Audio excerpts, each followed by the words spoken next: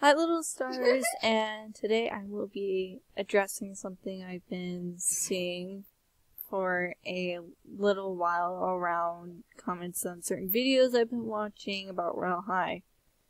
People have been saying the best way to farm candies is using an auto clicker while using the apple bobbing. Now, that first off is a very bad idea.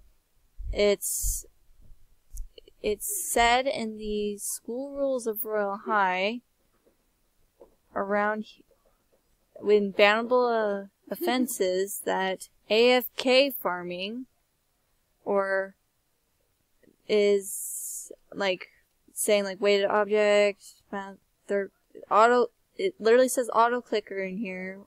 The server will it it is very very bad idea. They they literally said it's bannable and it's strictly prohibited. So this is not a that you shouldn't do that. And people are saying it's a very very good idea. It really is not. I do not do this. I know it's it seems easier. You just sit you just watch a movie while your game is just running for you, but I don't think it's worth mm-hmm. getting banned and losing all the stuff you worked hard for in the past. And it's just not fair to people who actually work hard.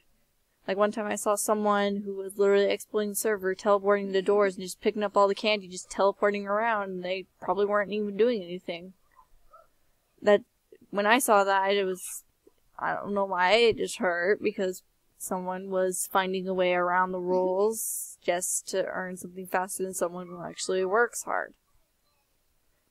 So do not use auto clickers. I doubt you want to lose all your stuff in Royale High and be permanently banned and have to start all over. So just don't do it.